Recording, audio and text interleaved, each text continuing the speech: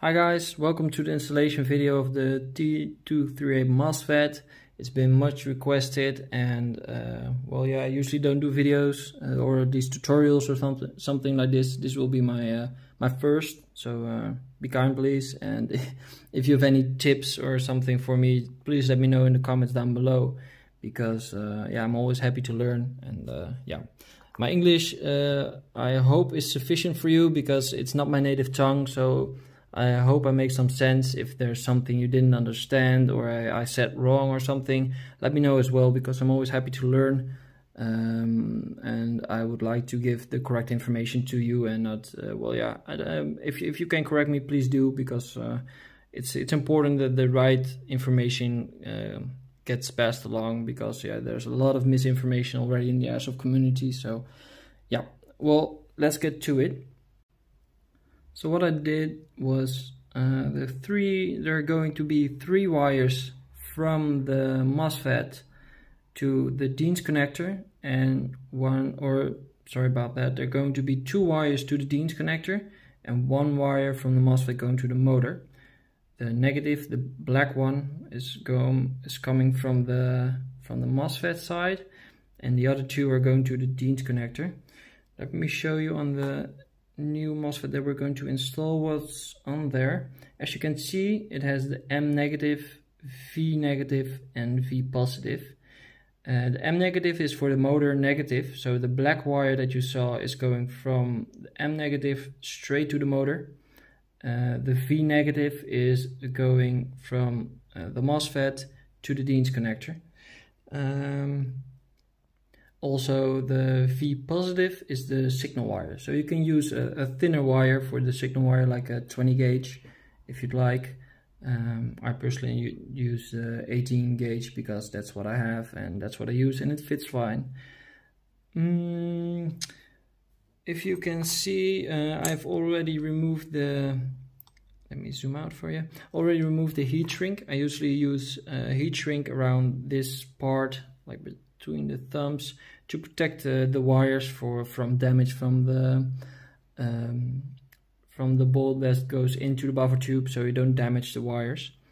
As you can see we have two wires, two positive wires from the Deans connector and one is this one is going oh, it's stuck this one is going down to the motor and the other one is the signal wire. That one is going to below there. That's the V positive so that's the signal wire. And the black one that's the negative from the Deans is going to the V negative up there.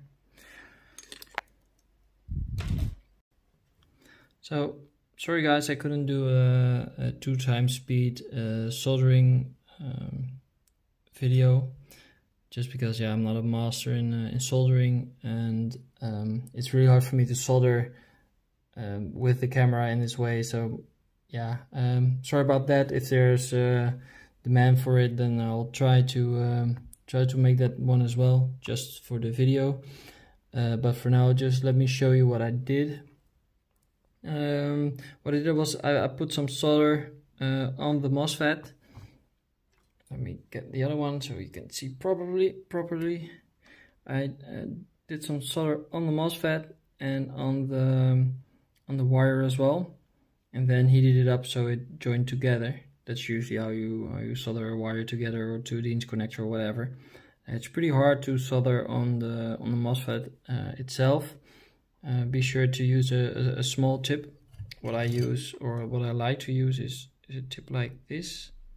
See it's a small oh it's a little bit dirty now but it's it's a it's a small tip with with a, a flattened side if you can see. Yeah there we go. It's more flat on the sides so you can just um, get the solder uh, on there and then put it on the MOSFET as well. Heat, heat the MOSFET a little bit up only the the gold contact points. So it joins together um, so as you can see in this gearbox I already well we shaped the wires so it's it's on there now I soldered them on the spots that they need to be. As you can see, I put the signal wire, it goes over the, I put that one first and that one goes um, well, a little bit round because you have to go over this hole for the trigger. Um, and the other two wires go around it. So that one, that that way you use the, the, the width uh, most so it, it's flattened more so it doesn't intervene with intervene with the trigger. Um, also if you can see the other wires there will be will be when the gearbox closes it will be really flush with the gearbox. So no wires uh, intruding or uh, interfering with the motor. It's really important otherwise you get a short and then the yeah, unfortunately it doesn't have like an electronic electronic fuse or something like that. So if it burns out, it burns out. Not like the Titan, you can just reset it and, and go again.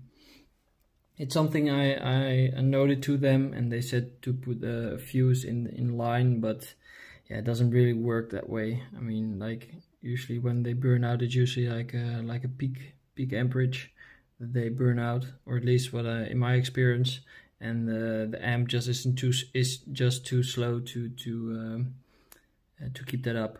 Um, well, like I said, you can see I pre-shaped it. The the wires. Well, we already got uh, gone over the the routing of the wires.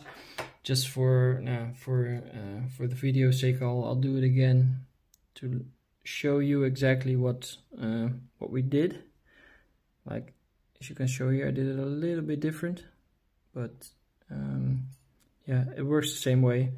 First thing you do is the red signal wire that goes to the Deans. So the 45 centimeters wire.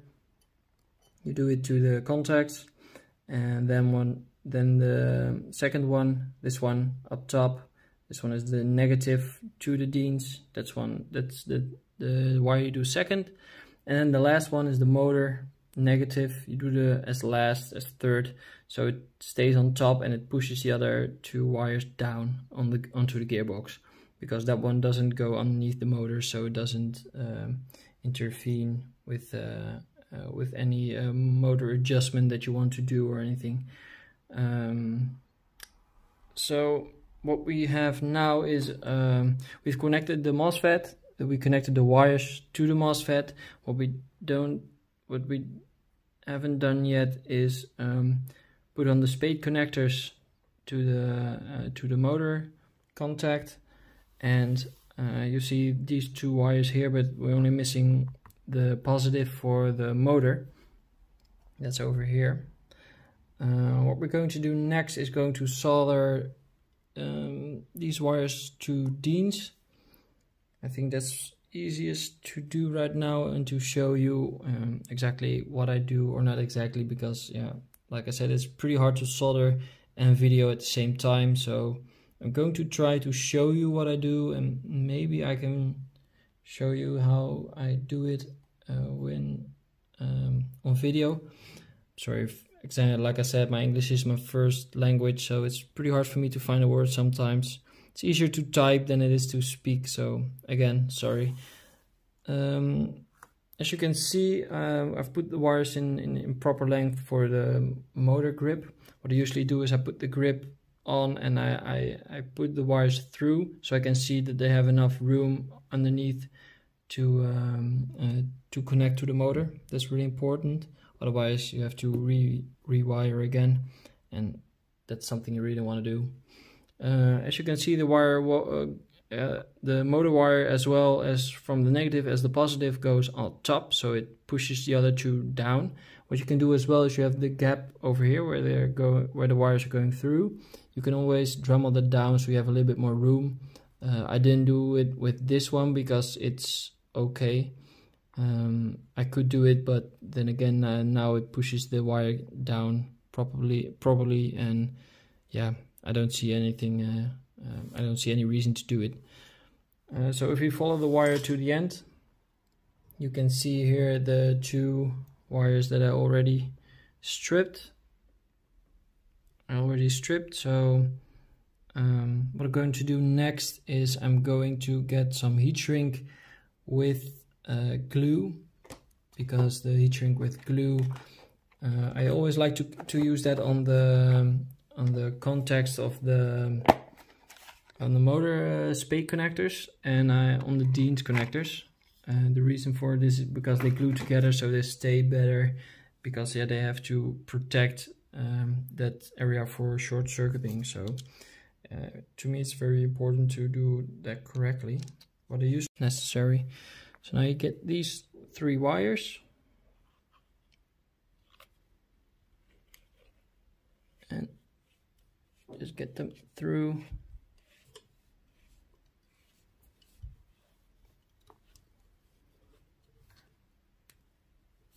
There we go. As you can see, it's a little bit too long, so I'm going to cut it to a shorter length.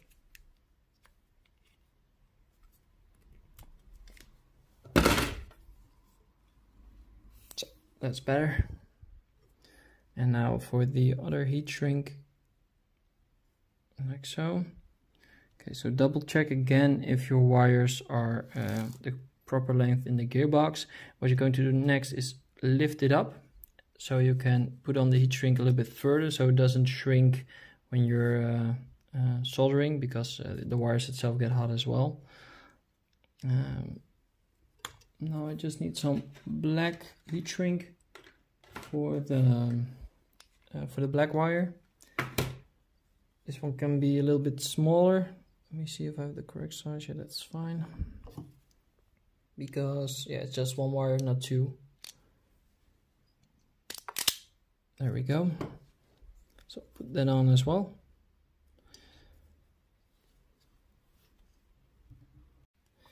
Okay, so if you've done your soldering on 2 Dean's connector, it should be looking like this. That, like this. I've used the glue heat shrink, so they're joined together.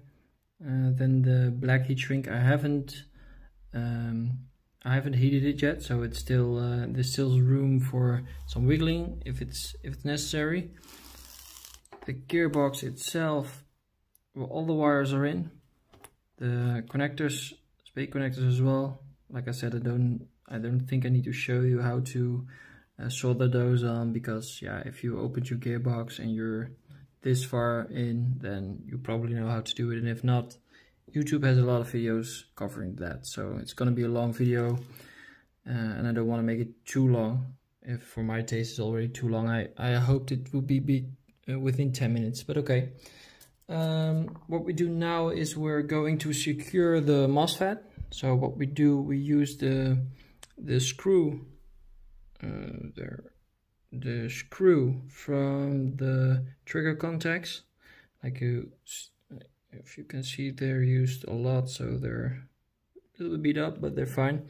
It's it's because it's like if, if it's the mushroom type screw that's fine because then it keeps the um, the MOSFET down better so the pressure is equally distributed. Damn that's a hard word for me. Distributed yeah well going to going to uh, try to improve my English. There we go. So now it's in. So don't go too fast for the last bit. If you feel a little bit of resistance, check to see if the MOSFET goes, uh, if, if it's flush, and if it goes all the way on every side, so it doesn't stick. Um, double check if the wires still are connected, so um, that they're still fine, that everything still works and is flush and isn't um, well, this one fits really nicely. I had some I had some issues with the with the ICS a little bit because I had to Dremel a, a little bit um, out because otherwise it couldn't couldn't fit. But this well the G&G fits perfectly. I've, I've fitted now I think three no four gene, four um four of these MOSFETs in a G&G gearbox. So um yeah, well this is the fourth one. I fitted three and this is number four. Um, well, as you can see, everything's in now. So, well, I think that's about it. What I usually do, I, I, this, uh, I assemble the gearbox and when everything's assembled and everything works, I heat up this guy. Uh, just because uh, it's a lot of heat shrink and if you do it again and if, if you make a, made a mistake, yeah, well, you have to uh, undo this and yeah it's a lot of heat shrink and uh, yeah I'm cheap. I don't like to throw it away so. I I always do that last when the gearbox is closed and it works. So next step we do now is is install the the gears and all the compression components etc etc etc also the motor grip and then test to see if it works and if it works properly if you get any um, noises, signals, or if something's wrong. Uh, if so, check again. If not, then reassemble the whole gun. But yeah, and then you can uh, heat up the heat shrink so it uh, it's solid. Um, well, again, thanks uh, for uh, for your patience uh, waiting on this installation video. I hope it was uh, informal enough for you. I'm sorry I couldn't show you the all the soldering compartment because yeah I'm I'm left-handed and the thing is right and the cable is really short and the video thing is on its way. Well, all kinds of excuses I couldn't do it. But um, if you really would like to see it, maybe I can find a way to to to show to you. But I think you know how to solder, so that shouldn't be a problem. Um, when it's assembled, uh, it should be working properly. properly uh, if not, if you have any questions with the installation video, if you have questions regarding uh, what well, where I get my wiring and stuff, and uh, I don't know, just uh, leave it down in the comments. I'll um, I hope uh, I'll, I'll, check them regularly. If I see something, I always try to respond. And um, well, like I said, if you have any tips on on some videos, I'm not a I'm not a professional um, YouTube. Um, um, yeah, not a professional YouTuber so I'm not planning on to doing a lot of tutorial videos or something, but there was just so many requests for this one that I thought, well, uh, let's give it a go. Well, uh, thanks guys, take care.